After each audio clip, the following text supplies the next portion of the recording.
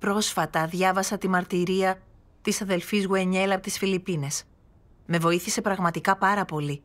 Με τίτλο «Η δυσκολία να μιλώ ειλικρινά». Ε, να σας τη διαβάσω. Ναι. Τέλεια. Αποδέχθηκα το έργο του Θεού τις έσχατες ημέρες το 17. Η συναναστροφή με τους αδελφούς και τις αδελφές ήταν συνήθως πάρα πολύ ευχάριστη, διότι πάντα μάθαινα περισσότερες αλήθειες και κέρδιζα κάτι από αυτήν. Αρχικά γινόταν μέσω γραπτής συνομιλίας, ε, δηλαδή πληκτρολογούσαμε όλη την επικοινωνία.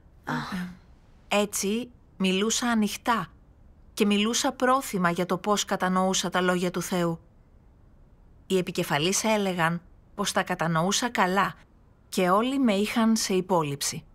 Έλεγαν πως τους άρεσε να ακούν τη συναναστροφή μου. Ενθουσιαζόμουν όταν άκουγα να με πενούν και ένιωθα πως τα πήγαινα καλά. Όταν μια αδελφή πρότεινε φωνητικές κλήσεις, άρχισαν τα προβλήματά μου. Σε μια συνάθρηση, αφού του διαβάσαμε τα λόγια του Θεού, δύο αδελφές είπαν πως τα κατανοούσαν. Όμως είχα άγχος και δεν είχα ακούσει τη συναναστροφή τους.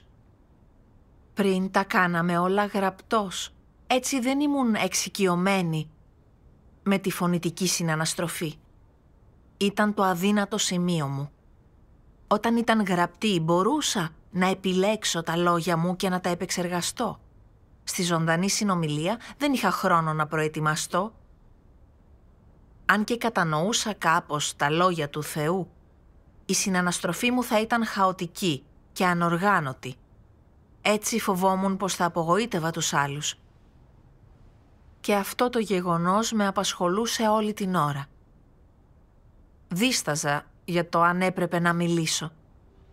Αν δεν μιλούσα, οι άλλοι θα νόμιζαν πως δεν συμμετείχα ενεργά σε αυτήν και η επικεφαλής θα απογοητευόταν. Όμως αν μιλούσα, θα δυσκολευόμουν πολύ. Κι αν δεν τα πήγαινα καλά, οι αδελφοί και οι αδελφές θα με περιφρονούσαν. Θα κατέστρεφα την καλή εικόνα που είχαν για μένα. Οι σκέψεις αυτές με άγχωναν τόσο που δεν μου έβγαινε λέξη. Ένιωθα αμηχανία, κυρίως επειδή ήταν στη συνάθρηση οι αδελφές που με είχαν κατηχήσει.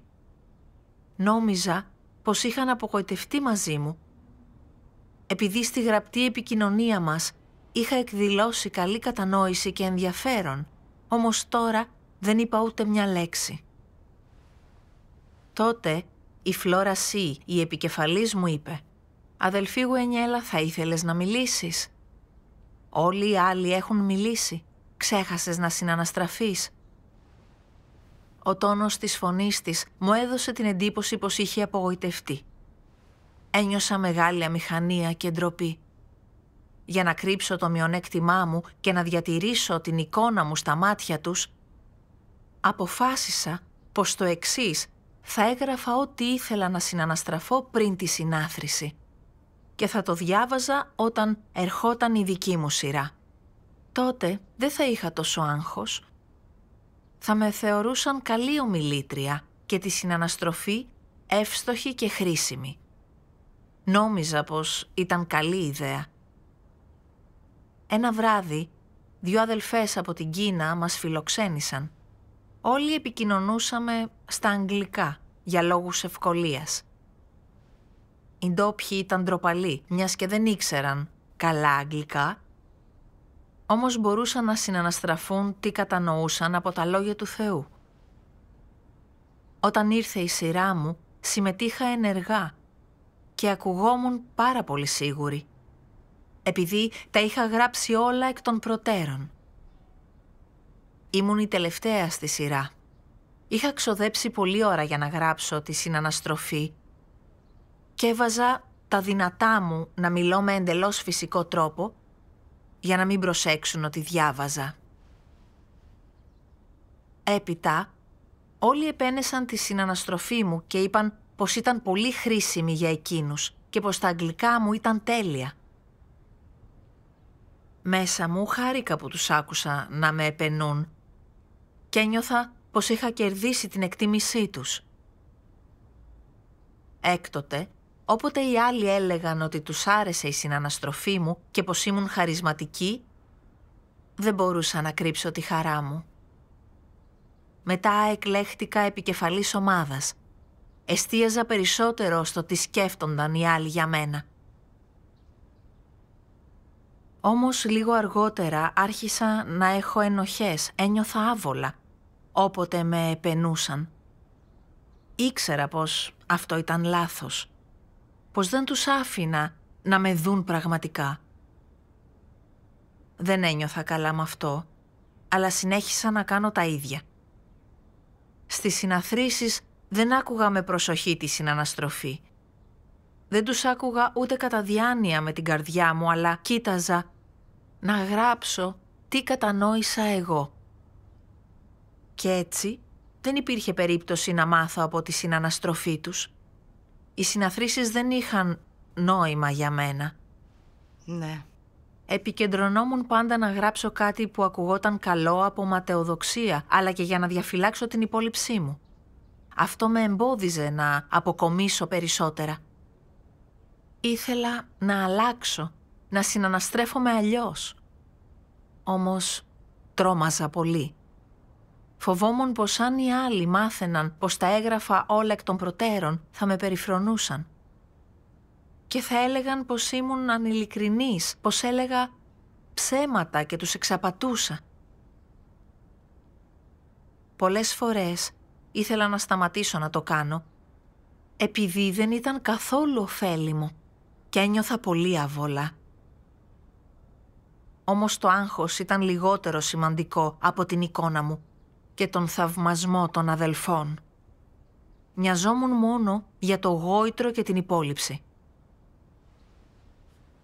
Όμως κάθε φορά που το έκανα ένιωθα απίστευτα ένοχη.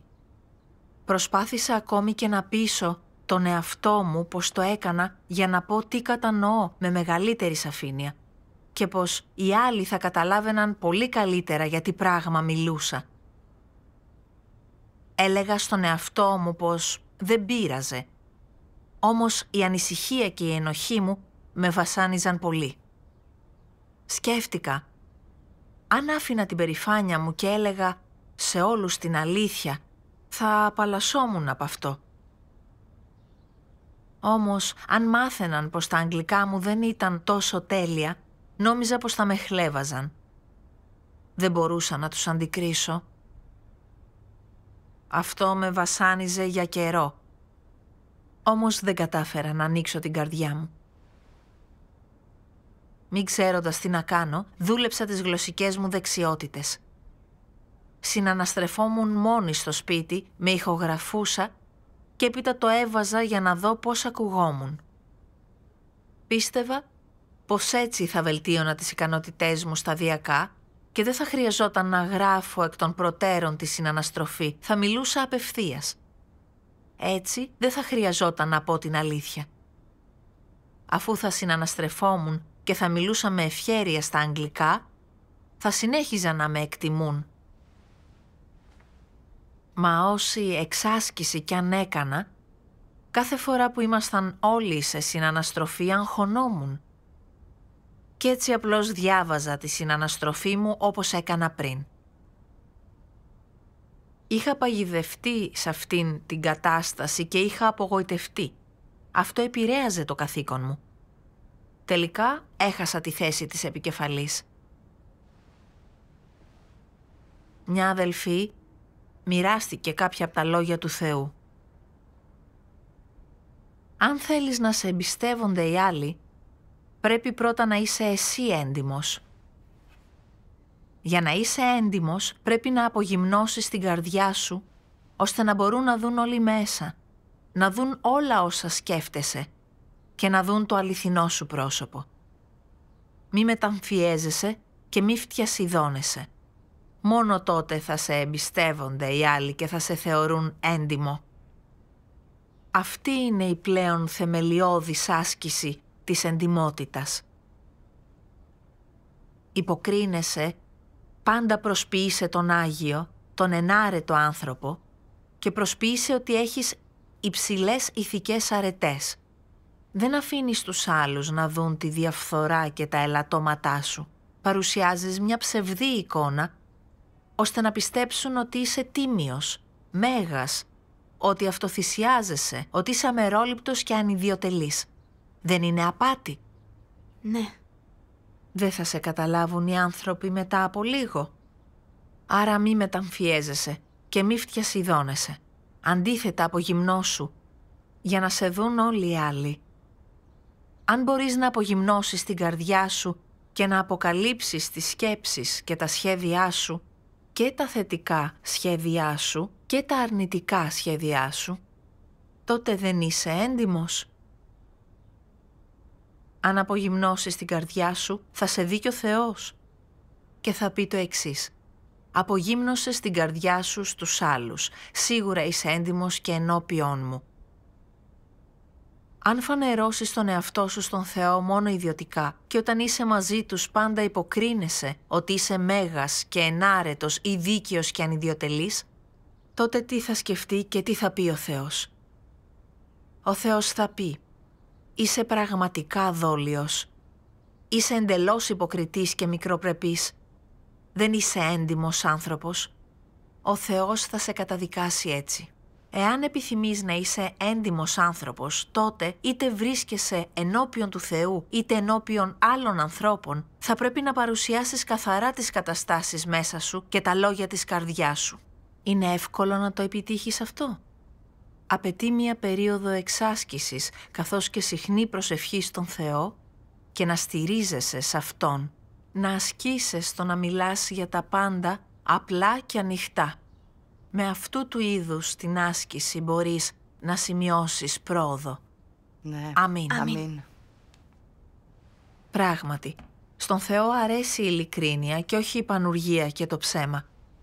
Είτε πρόκειται για κάτι όμορφο ή άσχημο, πρέπει να συναναστρεφόμαστε από καρδιάς, όχι να προσποιούμαστε, ούτε να φοράμε προσωπείο. Έτσι είναι η ειλικρινής. ναι. Όταν το διάβασα, ένιωσα ενοχές επειδή ήξερα πως δεν ήμουν ειλικρινής. Ήθελα να ανοιχτώ σε όλους, να απαλλαγώ από την επιθυμία μου για γόητρο και παρόλο που το προσπάθησα, δεν τα κατάφερα τελικά. Επιθυμούσα το γόητρο, ήμουν δέσμια της ματαιοδοξίας μου. Κατάλαβα πως ήμουν απίστευτα διεφθαρμένη. Ένιωθα πολύ ένοχη και συνάμα ενοχλημένη.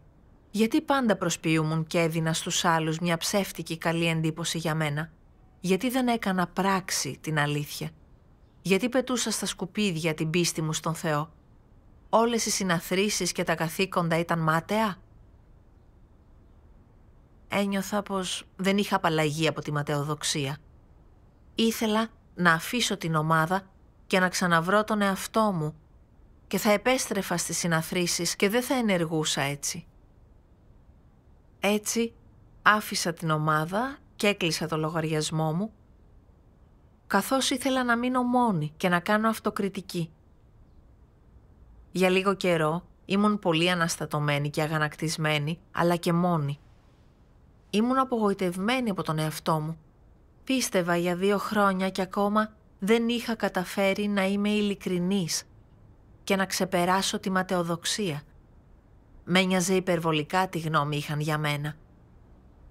Όσο σκεφτόμουν την αντίδρασή τους όταν μάθαιναν την αλήθεια, ένιωθα πολύ μεγάλη ντροπή. Θυμάμαι τότε διάβαζα μόνο τα λόγια του Θεού. Μια μέρα διάβασα το εξής χωρίο. Για να επιδιώξει κανείς την αλήθεια πρέπει να επικεντρωθεί στην άσκησή της από πού όμως θα πρέπει να αρχίσει να ασκεί την αλήθεια; Δεν υπάρχουν κανόνες γι' αυτό. Θα πρέπει να ασκείς όποιες πτυχές της αλήθειας κατανοείς.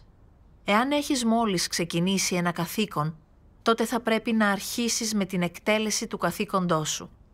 Κατά την εκτέλεση του καθήκοντός σου υπάρχουν πολλές πτυχές της αλήθειας που πρέπει να ασκήσεις, επομένως θα πρέπει να ασκείς όποια πτυχή της αλήθειας κατανοείς. Για παράδειγμα, μπορείς να ξεκινήσεις με το να είσαι ειλικρινής, να μιλάς ειλικρινά και να ανοίγεις την καρδιά σου. Αν υπάρχει κάτι για το οποίο ντρέπεσαι πολύ να μιλήσεις με τους αδελφούς και τις αδελφές σου, τότε θα πρέπει να γονατίσεις και να το πεις στον Θεό μέσω της προσευχής. Τι θα πρέπει να πεις στον Θεό; Πες στον Θεό τι υπάρχει στην καρδιά σου. Μην του κάνεις κενές φιλοφρονήσεις, ούτε να προσπαθείς να τον εξαπατήσεις. Ξεκίνα με το να είσαι ειλικρινής. Αν έχεις υπάρξει αδύναμος, τότε πες ότι ήσουν αδύναμος. Αν έχεις υπάρξει κακός, τότε πες ότι ήσουν κακός. Αν έχεις υπάρξει δόλιος, τότε πες πως ήσουν δόλιος. Αν είχες ποτέ μοχθηρές και ύπουλες σκέψεις, μίλα για αυτές τον Θεό. Αν ανταγωνίζεσαι πάντα για κάποια θέση, πες του το κι αυτό. Άφησε τον Θεό να σε πειθαρχήσει. Άφησέ τον να κανονίσει ένα περιβάλλον για σένα. Επίτρεψε στον Θεό να σε βοηθήσει να ξεπεράσεις όλες τις δυσκολίες σου και να επιλύσεις όλα σου τα προβλήματα. Θα πρέπει να ανοίξεις την καρδιά σου στον Θεό. Μην την κρατάς κλειστή. Ακόμα κι αν τον αποκλείσεις, εκείνος μπορεί ακόμα να δει μέσα σου. Όμως αν ανοίξεις την καρδιά σου σε Αυτόν, τότε μπορείς να κερδίσεις την αλήθεια. Άρα ποιο μονοπάτι θα πρέπει να επιλέξεις. Θα πρέπει να ανοίξεις την καρδιά σου και να μιλήσεις ειλικρινά με τον Θεό. Σε καμία περίπτωση δεν θα πρέπει να πεις οτιδήποτε ψεύτικο ή να μεταμφιεστείς. Θα πρέπει να ξεκινήσεις με το να είσαι ειλικρινής. Εδώ και χρόνια συναναστρεφόμαστε όσον αφορά αλήθειες σχετικά με το να είμαστε ειλικρινείς και όμως σήμερα εξακολουθούν να υπάρχουν πολλοί που παραμένουν αδιάφοροι, που μιλούν και ενεργούν μόνο σύμφωνα με τις δικές τους προθέσεις, επιθυμίες και στόχους και στους οποίους δεν έχει περάσει ποτέ από το μυαλό να μετανοήσουν. Δεν είναι αυτή η στάση των ανθρώπων που είναι ειλικρινείς. Γιατί ο Θεός ζητά από τους ανθρώπους να είναι ειλικρινείς; Για να κατανοήσει ευκολότερα τους ανθρώπους; Σίγουρα όχι. Ο Θεός απαιτεί από τους ανθρώπους να είναι ειλικρινείς, επειδή συμπαθεί και ευλογεί τους ειλικρινείς ανθρώπους. Το να είσαι ειλικρινής σημαίνει να είσαι άνθρωπος με συνείδηση και λογική. Σημαίνει να είσαι αξιόπιστος, να αρέσεις στον Θεό και να μπορείς να κάνεις πράξη την αλήθεια και να επιτύχεις την αγάπη Του. Το να είσαι ειλικρινής είναι η πλέον θεμελιώδης εκδήλωση του να έχεις κανονική ανθρώπινη φύση και να βιώνεις αληθινή ανθρώπινη ομοιότητα. Εάν κάποιος δεν ήταν ποτέ ειλικρινής, ούτε σκέφτηκε να είναι ειλικρινής, τότε δεν μπορεί να κατανοήσει την αλήθεια, πόσο μάλλον να την κερδίσει. Εάν δεν με πιστεύεις, πήγαινε και δες μόνος σου ή πήγαινε και βίωσέ το μόνος σου. Μόνο με το να είσαι ειλικρινής άνθρωπος μπορεί η καρδιά σου να είναι ανοιχτή στον Θεό. Μπορείς να αποδεχθείς την αλήθεια. Μπορεί η αλήθεια να γίνει η ζωή σου και μπορείς να κατανοήσεις και να κερδίσεις την αλήθεια. Αν η καρδιά σου είναι πάντα κλειστή, αν δεν ανοίγεσαι και δεν λες τίποτα σε κανέναν, ώστε κανείς να μην μπορεί να σε καταλάβει, τότε τα τείχη σου είναι πολύ υψηλά και είσαι ο πλέον δόλιος των ανθρώπων. Αν πιστεύεις στον Θεό, όμως δεν μπορείς να ανοιχτείς Αυτόν, αν μπορείς να του λες ψέματα ή να υπερβάλλεις για να τον εξαπατήσεις, αν δεν είσαι σε θέση να μιλήσεις ειλικρινά στον Θεό και μπορείς ακόμη να μιλάς με υπεκφυγές και να κρύβεις τις προθέσεις σου, τότε μόνο τον εαυτό σου θα βλάψεις και ο Θεός θα σε αγνοήσει και δεν θα εργαστεί μέσα σου. Δεν θα κατανοήσεις τίποτα από την αλήθεια, δεν θα κερδίσεις κανένα μέρος της αλήθειας. Αμήν. Αμήν. Αυτό μου έδειξε πως η κατανόηση της αλήθειας είναι το σημαντικότερο, περισσότερο από τη ματαιοδοξία και το γόητρο. Για να αποκτήσω την αλήθεια έπρεπε να γίνω ειλικρινής. Ένα και ένα κάνουν δύο. Τέρμα η προσποίηση. Για πραγματικά αρκετό καιρό υποκρινόμουν και εξαπατούσα τους άλλους. Έγραφα ότι ήθελα να συναναστραφώ ώστε να νομίζουν πως κατανοούσα και μιλούσα καλά αγγλικά και εκείνοι με επενούσαν. Ήμουν γεμάτη ενοχές και άγχος, όμως δεν είχα το θάρρος να ανοιχτώ στους αδελφούς μου.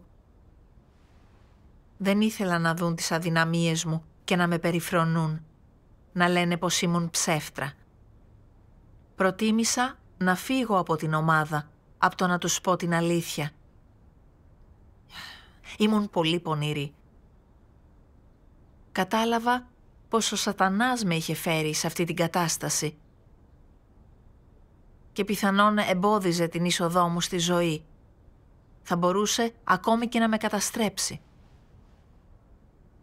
Έπρεπε να έχω το θάρρος να πω στους άλλους ποια ήμουν, ώστε να κάνω πράξη την ειλικρίνεια.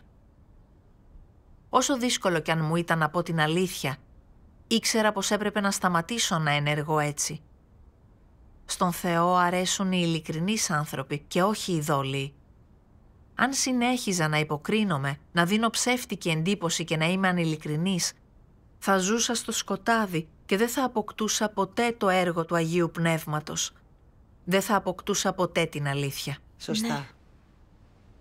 Έπρεπε να ανοιχτώ εντελώς στον Θεό για να με βοηθήσει να διορθωθώ.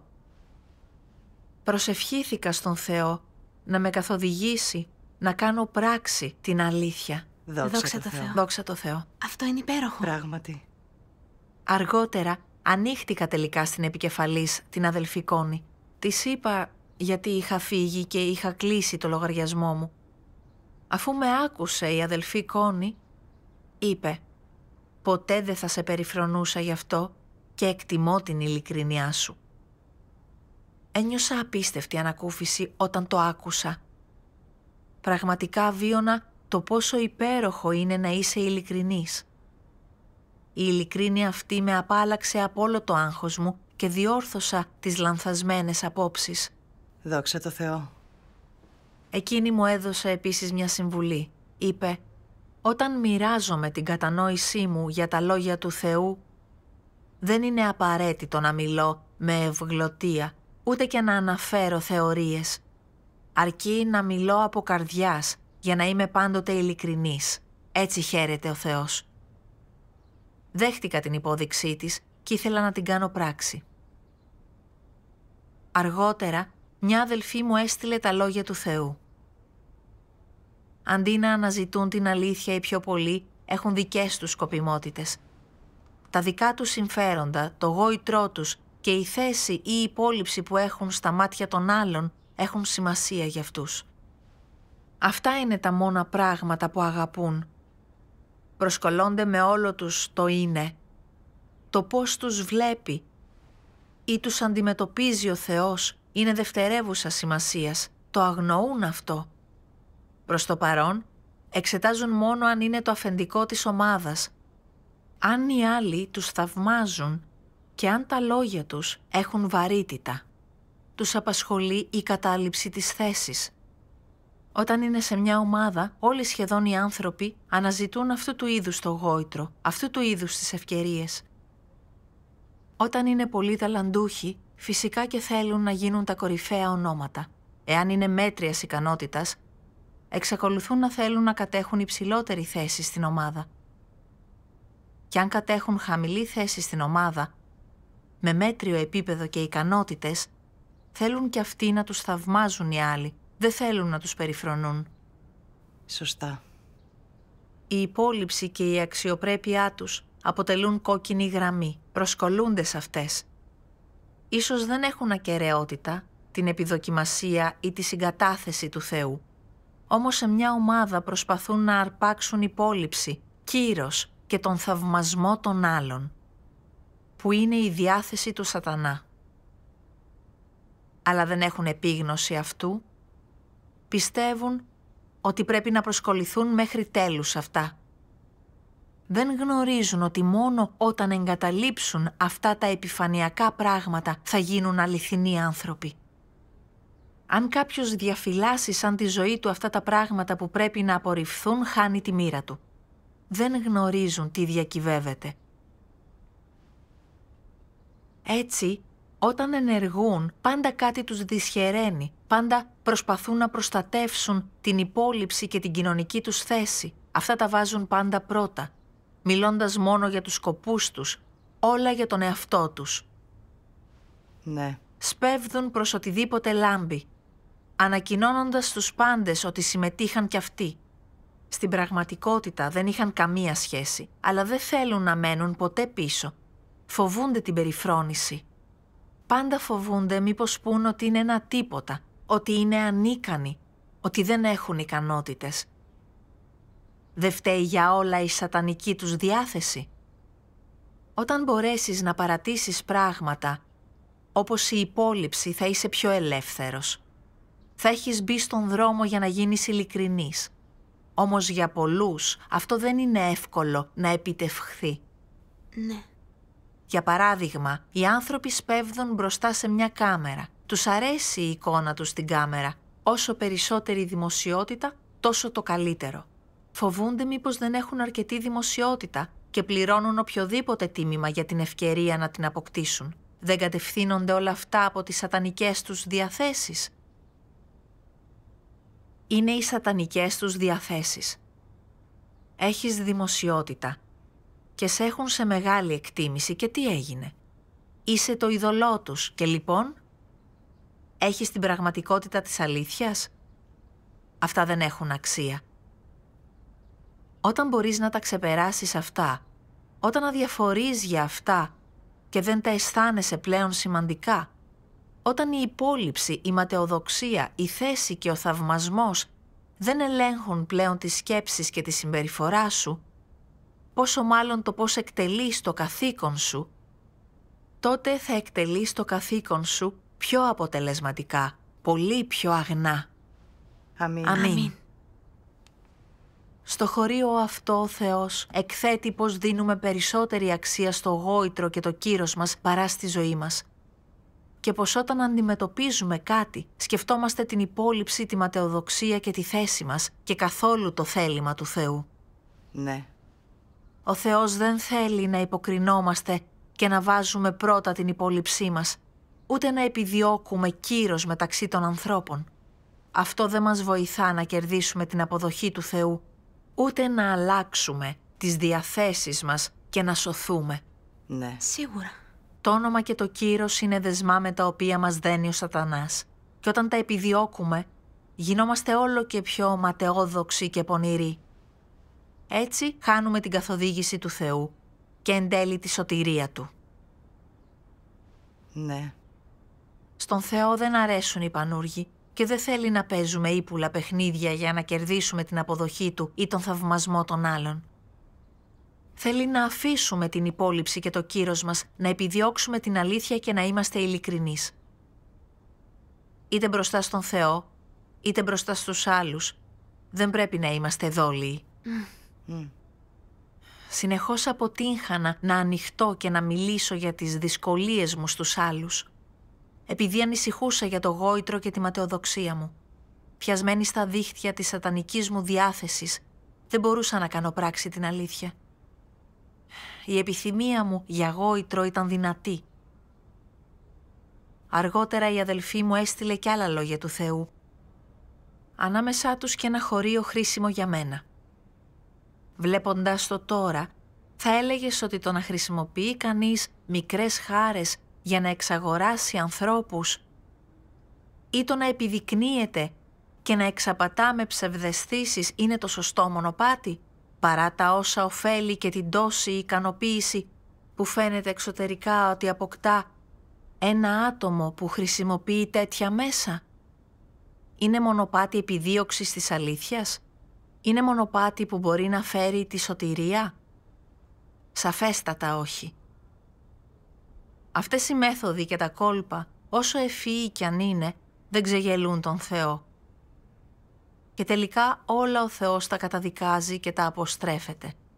Ναι. Επειδή κρυμμένα πίσω από τέτοιες συμπεριφορές είναι η προσωπική φιλοδοξία και ένα είδος στάσης και ουσίας κατά την οποία κανείς επιθυμεί να εναντιωθεί στον Θεό. Κατά βάθος ο Θεός δεν θα αναγνώριζε ποτέ ένα τέτοιο άτομο ως κάποιον που κάνει το καθήκον του αλλά αντίθετα ως άδικο. Ποιο είναι το συμπέρασμα του Θεού καθώς αντιμετωπίζει τους άδικους; Φεύγεται απ' εμού οι εργαζόμενοι την ανομίαν. Όταν ο Θεός λέει φεύγεται απ' εμού, πού θέλει να πάνε αυτοί οι άνθρωποι, τους παραδίδει στον σατανά, στους τόπους που κατοικούνται από τις ορδές των σατανάδων.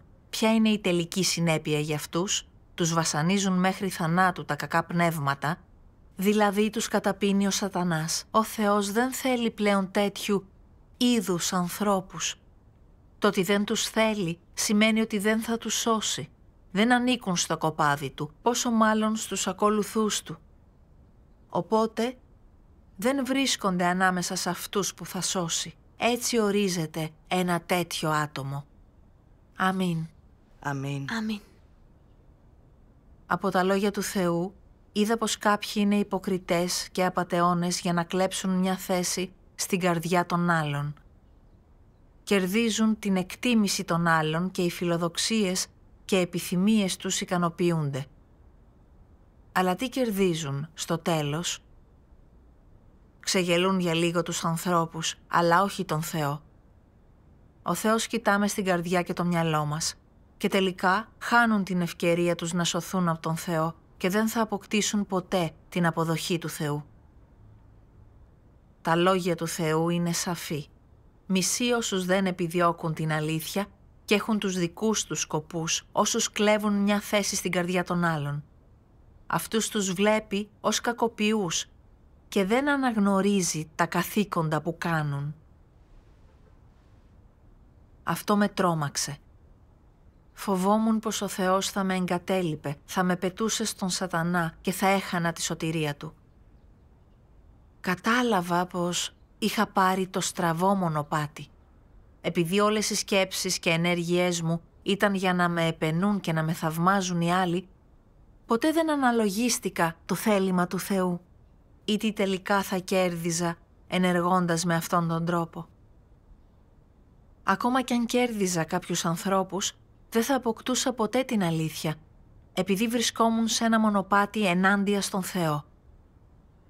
Αν συνέχιζα σε αυτό το μονοπάτι, στο τέλος σίγουρα θα καταστρεφόμουν. Στη σκέψη αυτή ήξερα πως ο Θεός μισούσε ότι έκανα και δεν ήταν αυτό που ήθελε να επιδιώξω. Δεν ήταν σε τάξη τα συναισθήματά μου. Ήθελα πραγματικά να αλλάξω και να ξεφύγω από αυτήν την κατάσταση, να είμαι ο εαυτός μου και ποτέ ξανά δόλια. Δόξα, Δόξα τω τω Θεώ. Θεώ. Αργότερα, η αδελφή Κόνη με ενθάρρυνε να συναναστραφώ και να ανοιχτώ στους άλλους, να είμαι ειλικρινής, ώστε να νιώσω λίγη γαλήνη και χαρά. Όμως, στη σκέψη να ανοιχτώ στους αδελφούς και τις αδελφές για τα ελαττώματά μου, δίσταζα πολύ. Τότε είδα ένα άλλο χωρίο. Πρέπει να αναζητάς την αλήθεια για να λύνεις κάθε πρόβλημα, όποιο κι αν είναι αυτό. Και ποτέ να μην μεταμφιέζεσαι ή να φοράς προσωπείο. Τα ελαττώματά σου, οι ελλείψεις σου, τα σφάλματά σου, οι διεφθαρμένες διαθέσεις σου. Μίλα ανοιχτά για αυτά στη συναναστροφή, μην τα κρατάς μέσα σου.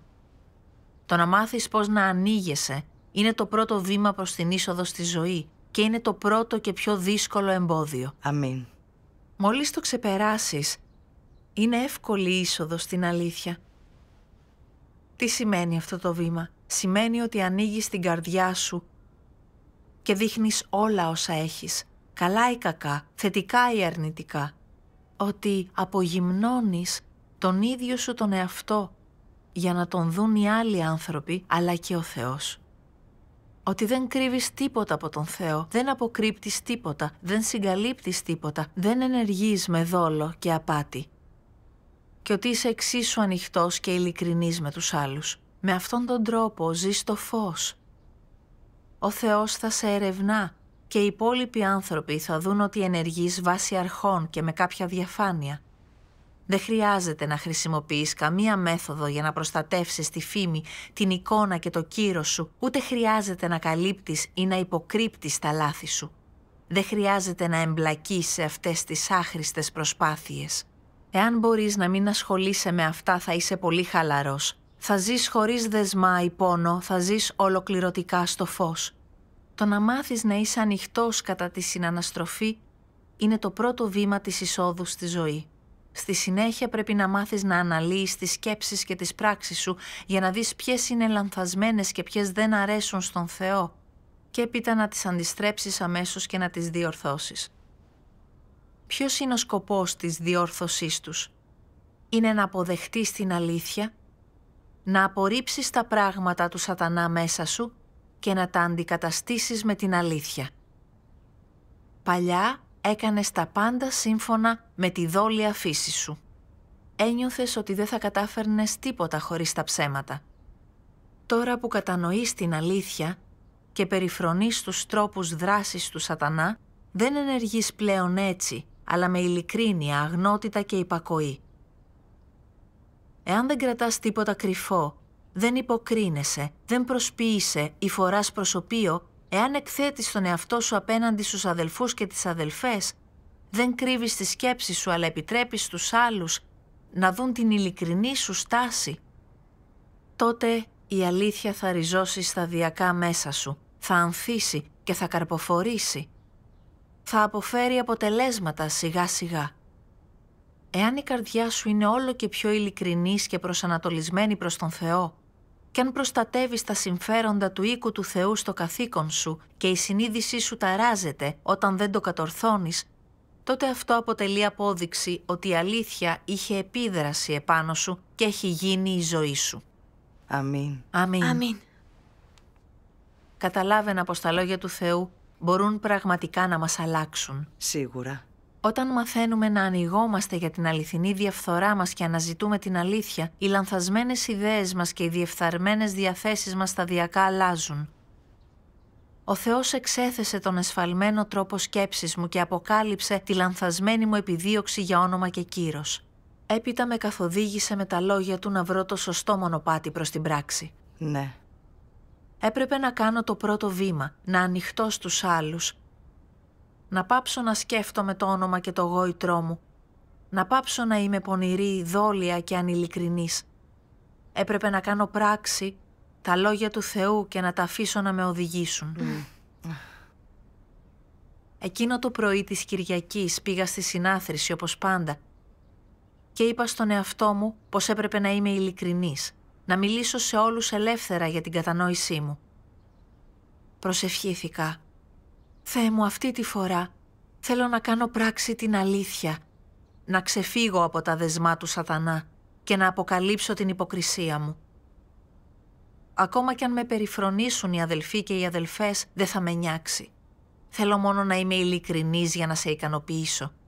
Σε παρακαλώ, βοήθησέ με να είμαι ανοιχτή και ειλικρινής.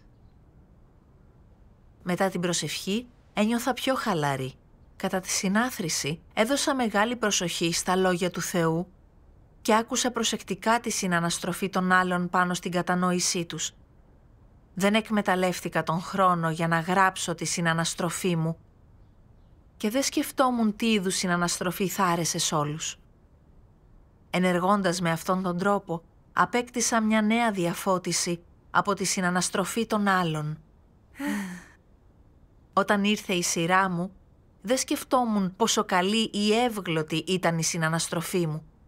Και παρόλο που ήμουν αγχωμένη, συνέχισα να συναναστρέφομαι με όλους. Έπειτα μίλησα για ένα χωρίο των λόγων του Θεού που με είχε συγκινήσει.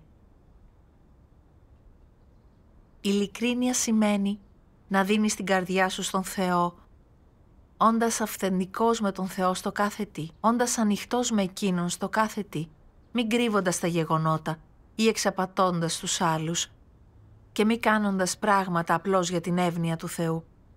Εν ολίγης, το να είσαι ειλικρινής σημαίνει να είσαι αγνός στις πράξεις και στα λόγια σου και να μην εξαπατάς τον Θεό ούτε τον άνθρωπο. Αν έχεις πολλές εκμυστηρεύσεις που είσαι απρόθυμος να μοιραστείς, αν μισείς να αποκαλύπτεις τα μυστικά σου, δηλαδή τις δυσκολίες σου, μπροστά σε άλλους ώστε να αναζητήσεις την οδό του φωτός, τότε λέω ότι είσαι κάποιος που δεν θα αποκτήσει εύκολα σωτηρία και δεν πρόκειται να αναδυθεί εύκολα από το σκοτάδι. Συσχέτισα αυτό το χωρίο των λόγων του Θεού με την εμπειρία μου και στο τέλος απογύμνωσα την ψυχή μου μπροστά τους, φανερώνοντας σε όλους το αληθινό μου πρόσωπο. Δεν ανησυχούσα καθόλου για το τι θα έλεγαν για μένα. Τους είπα, υποκρινόμουν τέλεια όλον αυτόν τον καιρό και προσποιούμουν πως μιλούσα άπτες στα αγγλικά. Η αλήθεια είναι πως έγραφα τη συναναστροφή μου εκ των προτέρων και μάλιστα την ηχογραφούσα για να ασκούμε ώστε να ακούγεται φυσική και να έχετε καλύτερη γνώμη για μένα. Το έκανα για να κερδίσω τον έπαινό σας και να με εκτιμάτε. Σας εξαπατούσα. Μετά την αποκάλυψή μου, νόμιζα πως όλοι θα με περιφρονούσαν. Όμως εκείνοι μου είπαν πως δεν έπρεπε να ανησυχώ που δεν συναναστρέφομαι καλά, πως λίγο πολύ είμαστε όλοι το ίδιο. Ο Θεός θέλει να είμαστε ειλικρινείς, όχι γλαφυροί και μη πρακτικοί. Ακριβώς. Αν δεν συναναστρεφόμουν από καρδιάς, αλλά έλεγα ξερά δόγματα, ποιο το όφελος. Ναι. Ναι. Συγκινήθηκα πάρα πολύ. Δεν με περιφρόνησαν καθόλου. Και κάποιοι από αυτούς είπαν πως κατανοούσαν το σκεπτικό μου και η εμπειρία μου τους βοήθησε όλους. Ήταν μια ευχάριστη έκπληξη για μένα. Ναι. Αφότου ανοίχτηκα σε όλους για τη διαφθορά μου, ένιωθα πως είχε φύγει ένα βάρος από πάνω μου. Ήμουν επιτέλους ελεύθερη και μπορούσα να ξεφύγω από τις σατανικές μου διαθέσεις. Με τη ματαιοδοξία ο σατανάς με εμπόδιζε να ασκήσω την αλήθεια. Όταν έμαθα τον εαυτό μου από τα λόγια του Θεού, ασκήθηκα στο να γίνω ειλικρινής και να ανοίγομαι. Ένιωθα πως είχα κάνει ένα βήμα προς τον Θεό και απομάκρυνα τις αμφιβολίες και τα εμπόδια προς όλους. Για πολύ καιρό δεν μπορούσα να αφήσω τη ματαιοδοξία ή να πω αλήθεια επειδή ενδιαφερόμουν για το γόητρό μου, αλλά όχι για το θέλημα του Θεού. Για πολύ καιρό μεταμφιεζόμουν για να ικανοποιήσω τη ματαιοδοξία μου και να απολαμβάνω τον έπαινο των άλλων, αλλά δεν ήταν αυτό που ήθελε ο Θεός. Έτσι έμαθα τη σημασία της επιδίωξης της αλήθειας. Μόνο με την ειλικρίνεια θα ξεφύγω από τα δεσμά μιας σατανικής διάθεσης. Μόνο αν επιλέξω την αλήθεια θα αποκτήσω αληθινή ευτυχία και γαλήνη. Παλιά ήμουν πολύ ύπουλη και υποκρίτρια. Μα τώρα αποφασίζω να κάνω πράξη την αλήθεια. Είναι το πιο σημαντικό για μένα. Θαυμάσια. Το μόνο που θέλω είναι να με καθοδηγεί ο Θεός να κάνω πράξη την αλήθεια. Δόξα σου, Δόξα σου, Θεός. Θεός. Δόξα τον παντοδύναμο Θεό. Ταυτίζομαι με την εμπειρία της Ναι. αδελφής.